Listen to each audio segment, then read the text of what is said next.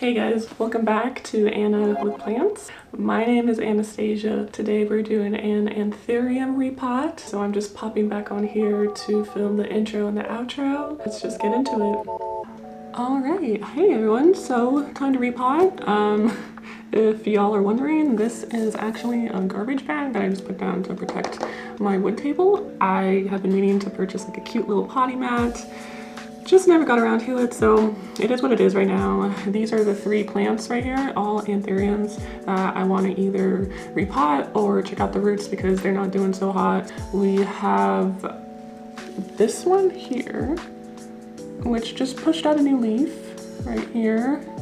This is an anthurium silver blush crossed with a red crystal from Car Carnivira, Carnivero. I don't know, the leaves, the older leaves are doing this really weird thing here. It just might look like it's time for a repot. Uh, I can see some roots and also the algae is getting kind of gross. Just wanted to see if maybe this one's due for an upsize. Next guy on the roster is this Forgetii Silver crossed with an Indo Hoffmannii. This one I got not too long ago. I potted it in a pure tree fern with some pumice added to it. And unlike all the other anthurium that I got with this order, this guy is just not looking great. He's very floppy. This was supposed to be the new newest leaf and it, as you can see it's just flopping over. The leaves feel very flimsy like they're not getting water. I just need to get him out of this and just see if it's root rot. I suspect that this is probably root rot. The last dude is this one. I got it from a seller called We Love Plants um, online and it was marketed to me as a Anthurium Michelle, one of the doc block um, hybrids. However, I, I don't know, this emergent, if I remember, I'll pop in a photo of what it looked like just didn't look like normal Michelle emergence. So I'm not sure if a Michelle is capable of having different color emergence, if that's part of the normal variation or whatnot. This guy had root rot when I first got it, so it's been rehabbing in here for a while. It has grown roots into here. Um, it's pretty well rooted. As you can see, the older leaves don't really look that great, and I attribute it to the root rot that happened. I just noticed that the algae in here is just really, really bad. I just want to get it out into a newer substrate and hopefully help that out. Honestly, I think we should just start off with this guy. This is the one that worries me the most. I think whatever I find in here is not gonna be, it's not gonna be great. I'm just gonna move these guys off to the side and we'll deal with him first if this has root rot, this is gonna be my first anthurium that I have put into tree fern that has rotted. Because the substrate has been doing well for me for everything else.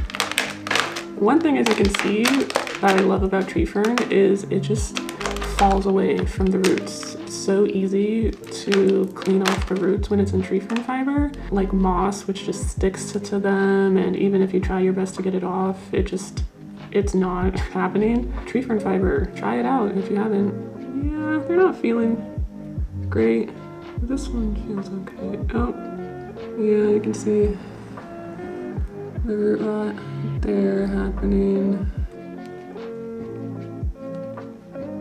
It's not the worst I've seen. It's not like it turned black or anything. See that guy right here ready to fall off. In preparation for this, I have brought a little bowl of a couple splashes of hyd uh, hydrogen peroxide and um, some Castile soap in there just for good measure. So I'm just gonna wash this guy in here.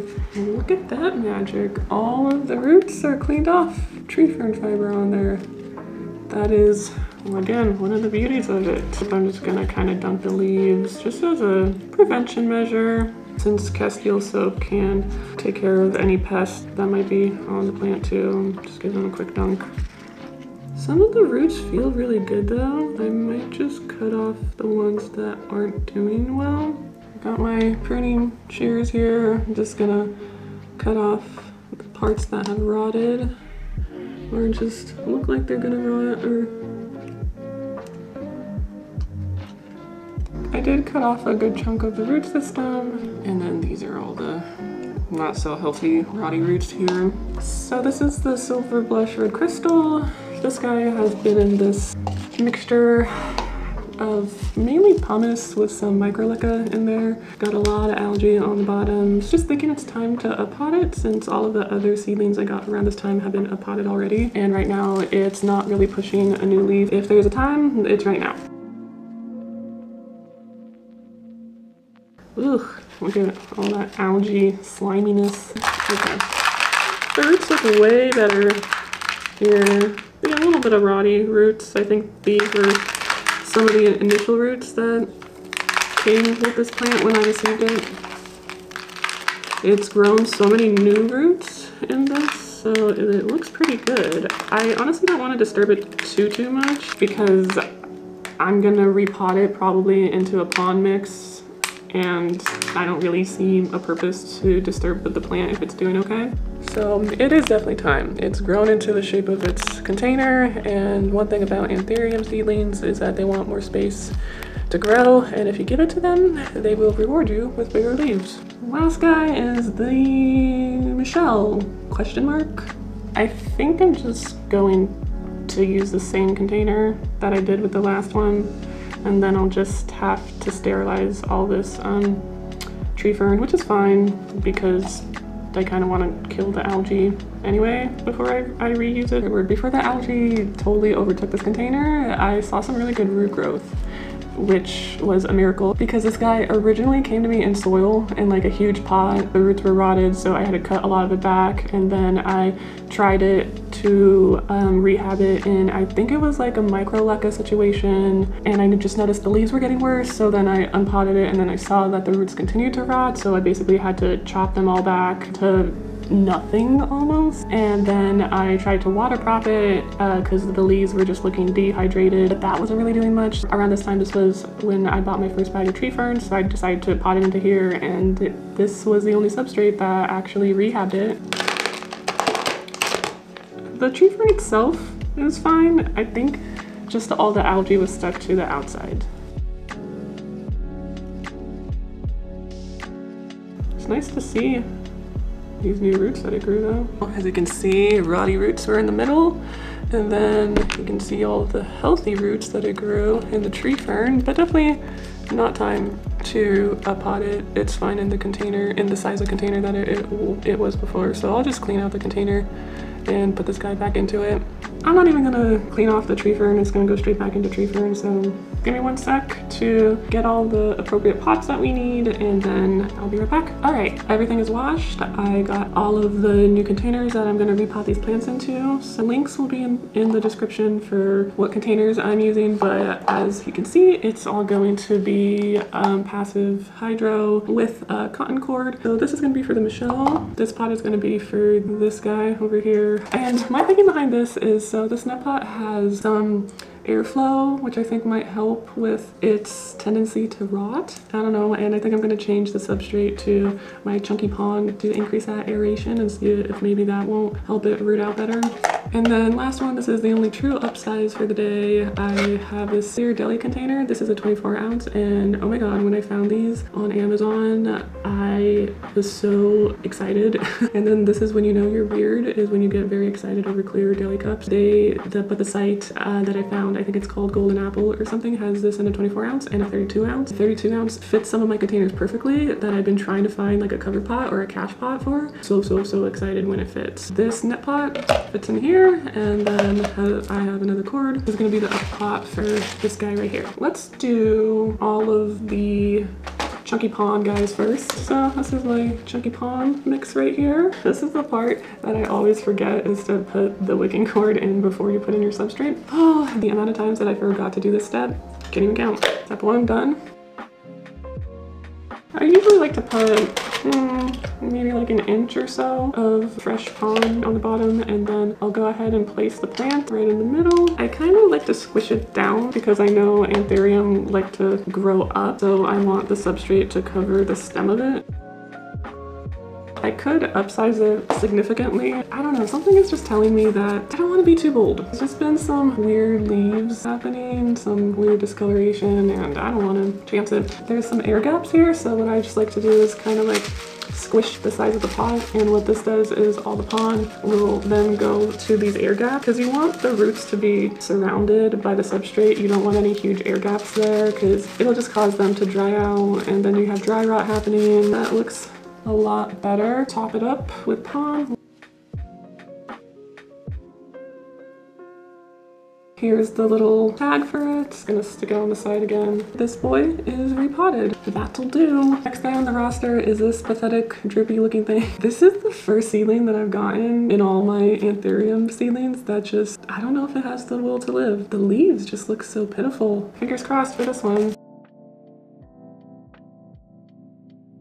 I put maybe a little less than half. And why I do this is because, ooh, sorry dude, because I don't want the roots to be so close to the water. That'll just increase its chances of rotting.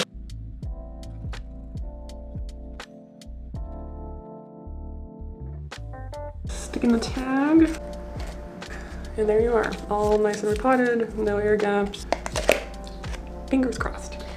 Tree fern pumice mix, last container for the Michelle here. So these are holes that I self-drilled and one of, the worst aspects of this plant hobby is to squeeze string in through my janky holes. That's what she said. Do my best. I just shoved in and that's also what she said. Uh, he said. That'll do.